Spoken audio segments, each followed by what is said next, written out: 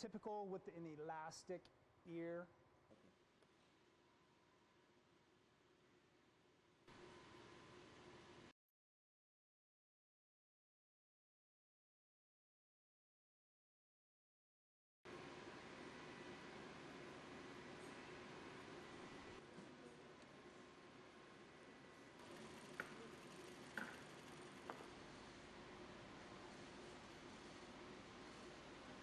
Assistant directors at ERs, um, anesthesiologists, just different sectors of, of healthcare um, have reached out to me and placed orders because you know some have zero supplies, some have limited supplies, and the ones who do have limited supplies are being told to reuse these N95 masks.